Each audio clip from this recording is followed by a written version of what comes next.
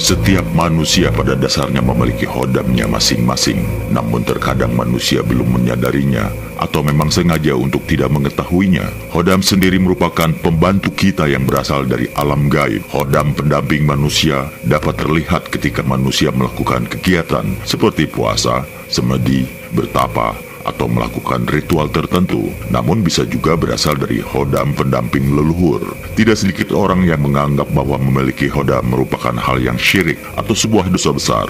Namun kenyataannya, hodam sendiri tidak bisa disamaratakan fungsinya. Dalam keilmuan, hodam dianggap dapat memberikan energi kepada pemiliknya sehingga pemiliknya dapat melakukan kegiatan yang di luar kewajaran. Hodam sendiri memiliki tujuan mengapa membantu manusia dan setiap hodam memiliki alasan yang berbeda-beda. Kehadiran hodam pada manusia ada dua, yaitu hodam yang hadir karena kehendak Tuhan, sedangkan ada pula golongan hodam pendamping manusia yang hadirnya dipaksakan oleh manusia untuk tujuan tertentu, misalnya untuk meminta tolong.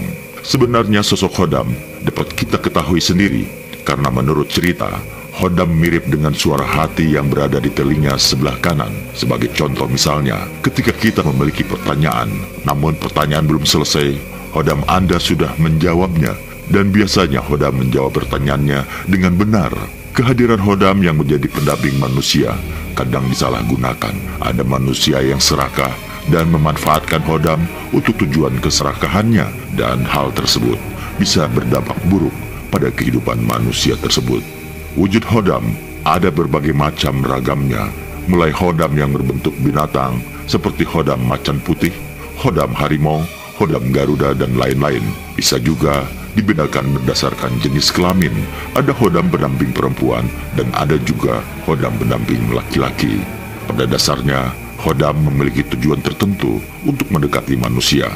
Hodam jin, misalnya, mereka memiliki alasan dan tujuan mengapa mau mendampingi manusia.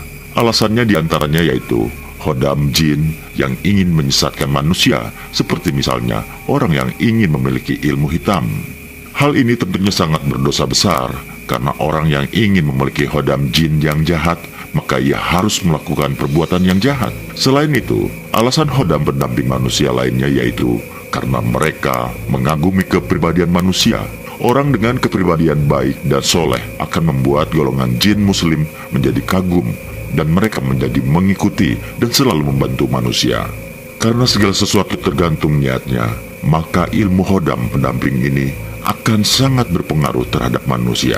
Ketika dilakukan dengan niat baik, maka akan banyak hodam yang bisa dimanfaatkan untuk bertujuan baik. Namun, jika niatnya kurang baik, maka akan banyak hodam dimanfaatkan untuk tujuan tertentu yang mungkin bertentangan dengan nilai dan norma manusia. Bagaimanakah cara melihat hodam pendamping?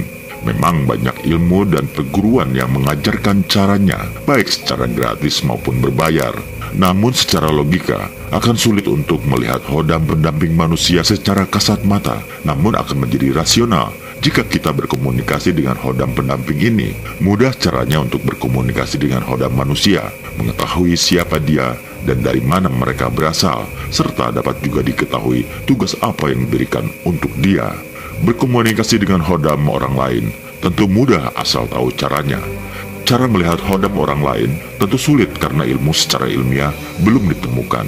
Yang lebih sulit adalah berkomunikasi dengan hodam sendiri, karena di sini diperlukan ketulusan dan kebersihan hati jika kita bisa belajar berkomunikasi dengan hodam orang lain dalam hitungan jam, maka untuk bisa berkomunikasi dengan hodam sendiri bisa berhari-hari, bahkan berbulan-bulan. Itulah kelemahan manusia. Sangat mudah mengetahui dunia di luar dirinya, namun sulit untuk masuk mengetahui siapa dirinya yang sebenarnya.